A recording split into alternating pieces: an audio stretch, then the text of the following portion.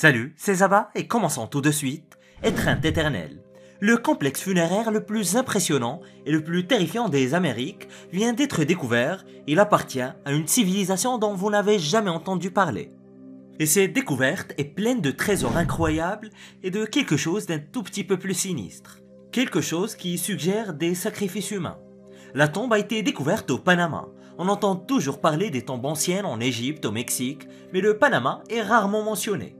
La tombe a été mise au jour dans le parc archéologique d'El Caño, situé à environ 160 km de Panama City. Et le parc abrite des ruines de la culture des grains coquelets. Si vous n'en avez jamais entendu parler, ne vous inquiétez pas, vous n'êtes pas seul. Les anciennes cultures d'Amérique centrale sont très mal comprises. Il y en a énormément avec des centaines de sites à peine touchés par des archéologues. Et les experts ont récemment essayé d'identifier des cultures natives spécifiques basées sur le style de poterie, mais cela s'est avéré très difficile. Les grains de étaient centrés dans la province panaméenne de Coquelet justement, prospérant entre environ 1200 avant notre ère et 1600 de notre ère. Et pour une culture unifiée, c'est une période de temps incroyablement longue. Ils ont perduré plus longtemps que les Mayas d'une bonne marge et plus de 6 fois plus longtemps que l'Empire romain. On parle bien de l'Empire et pas de la République. À titre de comparaison, l'Empire romain a techniquement été fondé en 27 avant notre ère et s'est effondré vers 476 de notre ère. Ainsi, l'Empire romain a duré environ 450 ans. Et de l'autre côté, les grains coquelets ont perduré 2800 ans. D'ailleurs, la puissance et le prestige des grains coquelets a été révélé maintes et maintes fois depuis le début du XXe siècle. Il y a eu des investigations archéologiques sporadiques, chaque fois que les archéologues trouvent une nouvelle ville et commencent à creuser, ils découvrent quelque chose d'extraordinaire. Et l'un de leurs plus grands sites est Sitio Comté, découvert dans les années 20.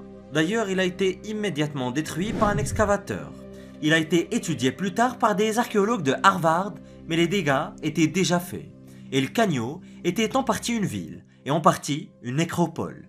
Les scientifiques l'appellent une ville des morts.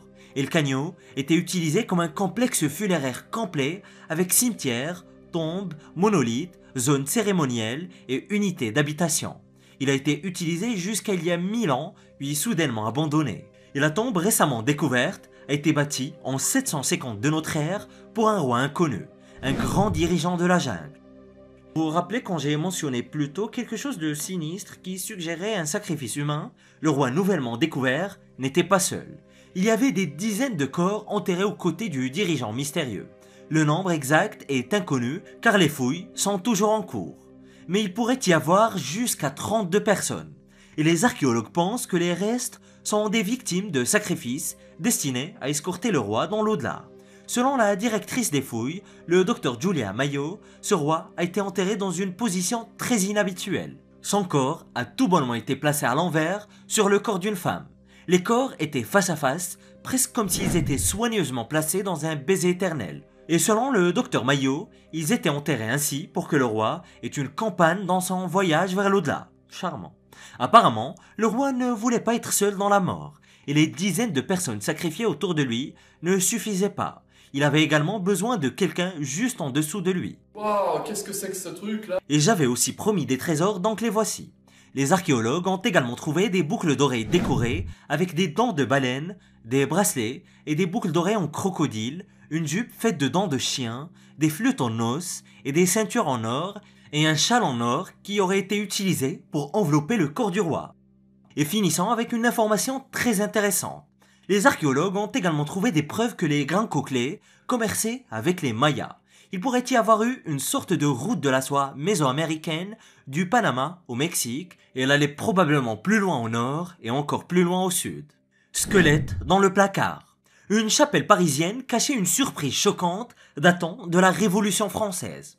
Une découverte macabre a été faite dans une chapelle parisienne, et la découverte concerne environ près de 500 nobles décapités.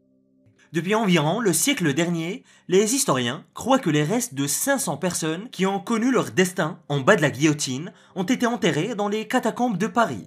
Parmi eux pourrait se trouver Maximilien Robespierre, l'un des instigateurs de la terreur. Et de nouvelles recherches ont montré que ces corps pourraient avoir été enterrés quelque part en dehors des catacombes. En 2018, l'administrateur de la chapelle expiatoire, qui se trouve dans le 8e arrondissement de Paris, a remarqué quelque chose d'un tout petit peu étrange à propos des murs de la chapelle inférieure. Les colonnes semblaient inégales, comme s'il y avait des espaces, là, où il ne devrait pas y en avoir. L'administrateur était tellement préoccupé par les colonnes qu'il a contacté l'archéologue Philippe Charlier, qui est arrivé sur place avec une petite caméra. Philippe a alors inséré la petite caméra à travers les pierres du mur et a trouvé quelque chose d'incroyable. Mais avant de parler de ce qu'il a trouvé, il faut d'abord préciser quelques points. Entre 1793 et 1794, un nombre obscène d'aristocrates ont été publiquement décapités sur la place de la Révolution, comme vous le savez, et qui est maintenant appelée la place de la Concorde. Pendant la Révolution française, les Parisiens et les Français en général en colère se rassemblaient ici pour regarder les riches nobles se faire couper la tête.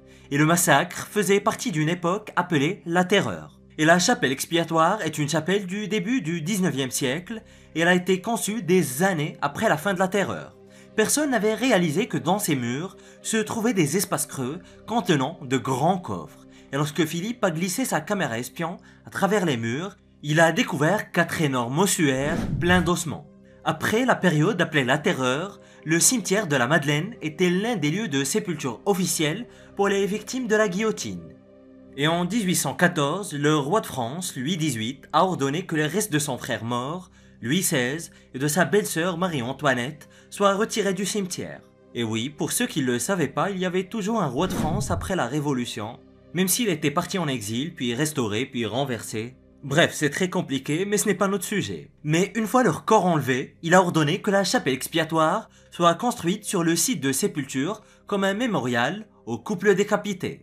Et on supposait que le reste des ossements du cimetière avait été placé aux catacombes de Paris, mais beaucoup d'entre eux ont apparemment été placés dans des ossuaires puis intégrés dans les murs eux-mêmes. La déesse, les merveilleuses ruines de Petra viennent de révéler une découverte qui nous permet d'en savoir plus sur l'énigmatique civilisation qui y vivait. De très excitants artefacts ont été retrouvés à Petra, en Jordanie. Petra est la ville antique des Nabatéens. Les archéologues décrivent les nouvelles reliques comme absolument exquises, et ils ont bien raison. Ces incroyables artefacts ont été découverts par des scientifiques de la Caroline du Nord. Ils fouillaient des structures perdues le long de la crête nord à la recherche d'objets appartenant aux gens ordinaires. Les chercheurs de l'Université de l'État de Caroline du Nord voulaient en savoir plus sur les habitants de Petra, ceux qui balayaient les sols, préparaient les repas et construisaient les maisons et non pas les lits. Et leur enquête a été un énorme succès. Ils ont découvert deux mystérieuses statues qui en disent long sur ce qu'était la vie pour les gens ordinaires à Petra. Les statues datent de 106 de notre ère, façonnées dans le style romain. Les statues représentent de très belles déesses. Les Nabatéens sont ceux qui ont construit Petra et d'autres villes magnifiques à travers la Jordanie, la Syrie et l'Arabie saoudite d'aujourd'hui. D'ailleurs, saviez-vous que Petra est l'un des seuls 2000 sites liés à la civilisation nabatéenne Quant à savoir d'où ils venaient, tout a commencé il y a 2500 ans. Les Nabatéens étaient une tribu nomade qui errait sans but à travers le désert peut-être pas sans but, mais ils faisaient certainement beaucoup d'errances, comme le font tous les nomades d'ailleurs. Ils ont peut-être même erré dans les déserts pendant des milliers d'années, et on n'a juste aucun moyen de le savoir. Puis, quelque chose a changé. Les Nabatéens ont cessé leur vagabondage et se sont installés.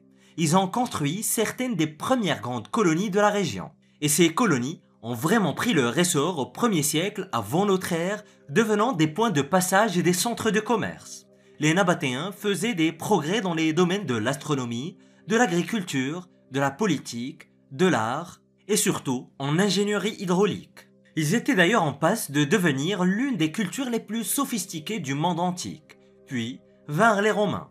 Les grands méchants romains vinrent en marchant à travers le désert et s'emparèrent de la ville de Petra. Ils prirent le contrôle de tout le royaume nabatéen et détournèrent les routes commerciales et détruisirent la culture nabatéenne.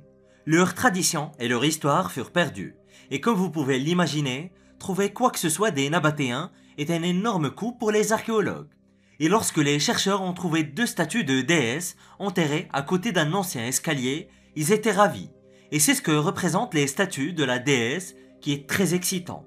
Les statues ont été construites après que les Romains eurent pris le contrôle de Petra. Elles ont également été trouvées à l'intérieur de ce que les experts croient être la maison d'une personne locale. Les statues montrent que même après avoir été conquis, les Nabatéens se sont adaptés à leur nouvelle société sous la domination romaine.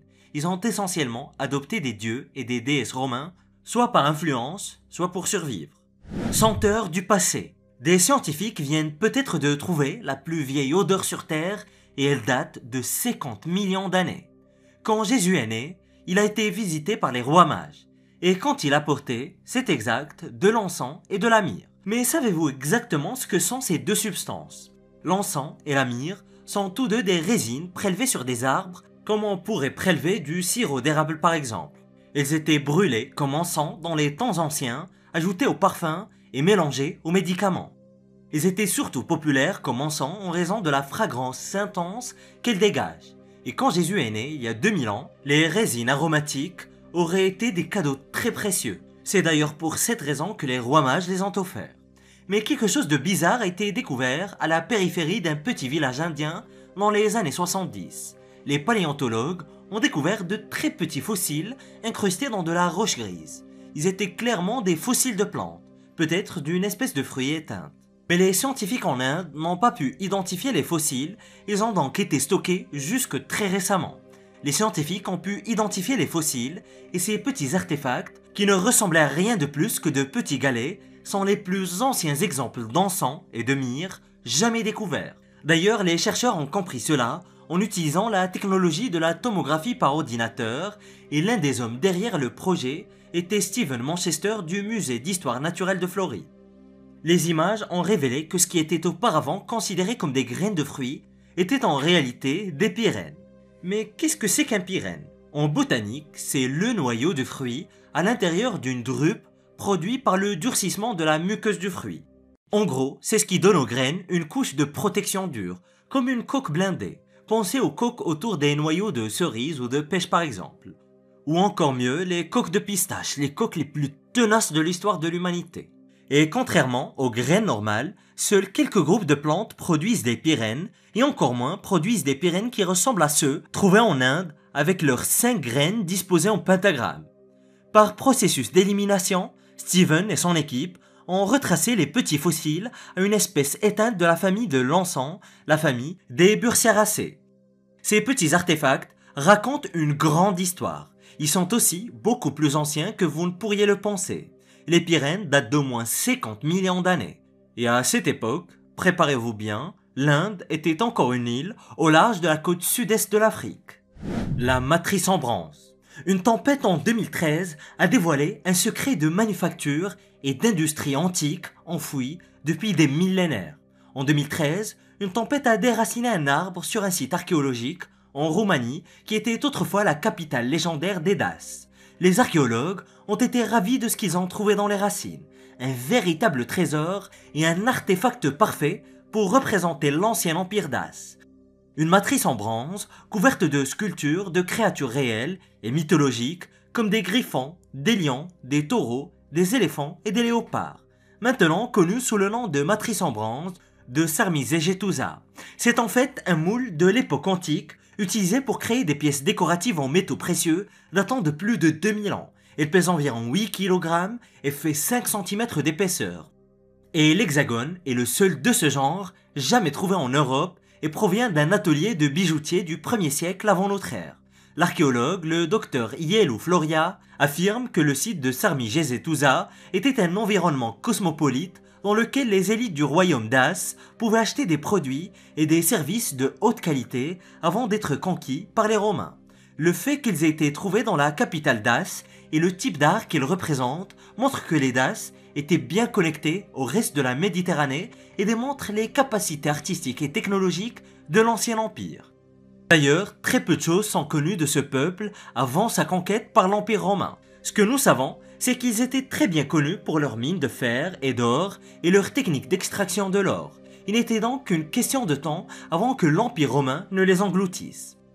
D'ailleurs, cette matrice est désormais exposée seule au musée de la civilisation dace et romaine de Deva en Roumanie afin que des gens puissent apprécier les détails et la beauté de toutes ces facettes et elle est désormais considérée comme l'un des artefacts archéologiques et technologiques les plus précieux de la Roumanie. L'armure lointaine. Une découverte extrêmement rare et très inhabituelle pour les États-Unis vient d'y être faite. Quand on imagine des chevaliers en armure, on pense directement à l'Europe médiévale, voire même à l'Asie, mais généralement pas à l'Amérique et certainement pas dans le Maryland au XVIIe siècle. Mais cela est en train de changer. Les archéologues ont trouvé la preuve d'un chevalier en armure brillante dans l'Amérique coloniale. Des chercheurs du fort historique de St. Mary City ont déterré une pièce d'armure en métal datant du début du XVIIe siècle. C'était loin d'être une armure complète avec gantelets, casque et toutes les autres pièces, et n'ont trouvé qu'un tassé qui était la pièce de métal protégeant les cuisses du chevalier. Néanmoins, il faisait partie autrefois d'une armure complète. St. Mary City est un fort historique que personne ne connaissait jusqu'en 2021. C'est à ce moment-là que les archéologues ont découvert les contours du fort colonial.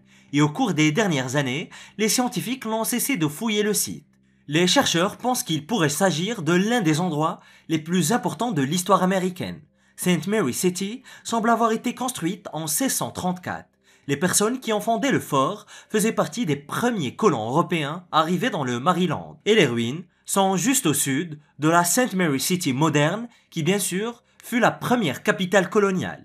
Les archéologues ont déjà trouvé des choses très étranges comme le squelette d'un adolescent et une paire de ciseaux aléatoires et c'est à la fin de 2023 qu'ils ont sorti un morceau de métal sale d'une vieille cave transformée en décharge. Ce morceau de métal provenait d'une armure, et pour ceux qui n'ont jamais été dans le Maryland, sachez qu'il peut y faire très chaud et très humide.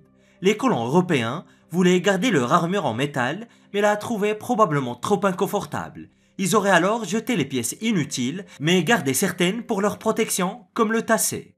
Ce n'est pas la première fois que l'on trouve une armure en Amérique. Des cuirasses et des casques ont été retrouvés dans des ruines de Jamestown, en Virginie, mais les découvertes de ce genre se comptent sur les bouts des doigts. Jamestown était également l'une des premières colonies du pays. Il reste encore beaucoup de travail à faire à St. Mary City, et les chercheurs travaillent actuellement à découvrir les restes d'un immense bâtiment. Pour l'instant, ils n'ont que ses contours et ne savent donc pas ce que c'était. Peut-être une maison publique, peut-être une église ou peut-être une structure militaire. L'endroit entier est un mystère car il n'y a presque aucune information à son sujet. Les archives montrent que deux navires, The Ark et The Dove, ont amené des colons de Grande-Bretagne en 1634. Mais après 1642, St. Mary City ne figure dans aucun document. La cuillère de toilette. Saviez-vous que les cuillères revêtaient une importance particulière pour les Romains? Et un exemple unique et extrêmement rare vient d'en être découvert. Une cuillère à toilette n'est pas vraiment quelque chose que l'on voudrait trouver à côté d'une cuillère à soupe ou de la fourchette à salade lors d'un dîner chic. Mais qu'est-ce que c'est au juste? Une cuillère de toilette ou une cuillère à toilette est un artefact bien réel qui a récemment été découvert au pays de Galles et vous n'allez pas croire à quoi servait cette ancienne cuillère romaine. C'était en 2020 et la matrice de détection de métaux, Valentina Avgevas, détectée dans la vallée de Glamorgan. C'est une région brumeuse qu'on dirait tout droit sortie d'un livre fantastique peuplé de montagnes épineuses et de trolls. Elle est située au pays de Galles, qui est d'ailleurs la chose qui se rapproche le plus d'un décor arthurien. La détectrice de métaux a trouvé un seul ustensile, une petite cuillère en argent connue sous le nom de ligula romaine. D'ailleurs, chez les Romains, les cuillères se divisaient en deux catégories principales, les cochléria ces cuillères avaient un petit récipient et une poignée droite effilée, et elles étaient généralement plus petites et plus légères. Et puis, les ligulés. Ces cuillères étaient plus grandes et plus lourdes. Elles avaient un récipient, souvent ovale, et une poignée avec l'extrémité arrondie. Les archéologues pensent que les ligulés pourraient avoir été utilisés parfois comme cuillères à manger, mais ont été plutôt principalement conçus pour servir la nourriture et d'autres choses et Valentina a donné l'objet au Portable Antiquity Scheme pour le pays de Galles qu'il a transféré au musée local. Mais à quoi servait-elle? Les experts du musée pensent que parce que l'ustensile était fait d'argent au lieu d'un alliage de cuivre moins cher, elle était probablement utilisée dans des procédures médicales. La cuillère de toilette, comme on l'appelle couramment, était souvent utilisée pour les cosmétiques. Quelqu'un pouvait ramasser son maquillage en utilisant la cuillère de toilette. D'ailleurs, il aurait été plus adéquat de l'appeler cuillère cosmétique ou cuillère de beauté, mais bon, je ne décide pas des noms. Mais les plus onéreuses et les plus importantes d'entre elles étaient utilisées pour l'extraction et l'administration de médicaments, d'engans et d'autres substances médicinales. Même les anciens romains comprenaient que l'argent avait des propriétés antimicrobiennes. Les Romains n'étaient pas les seuls à posséder des cuillères de toilette.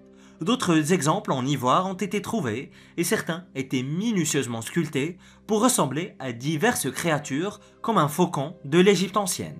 Et cette ancienne montagne pourrait renfermer les secrets de la toute première civilisation humaine. Découvre-les en cliquant sur cette vidéo.